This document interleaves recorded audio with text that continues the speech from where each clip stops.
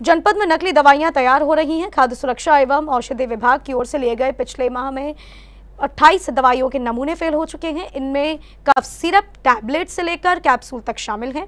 विगत दिनों आगरा पुलिस ने तमाम अवैध दवाओं की फैक्ट्री का भंडाफोड़ किया था।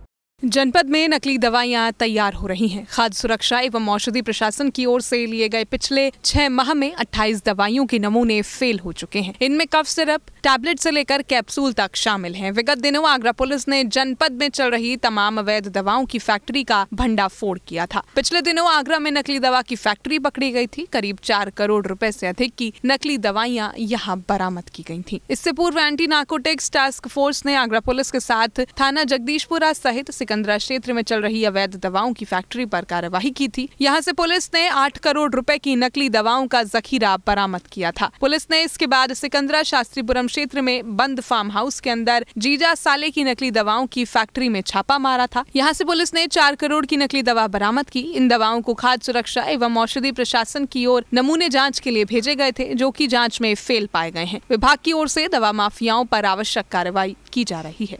सी न्यूज़ के लिए संदीप शर्मा की रिपोर्ट।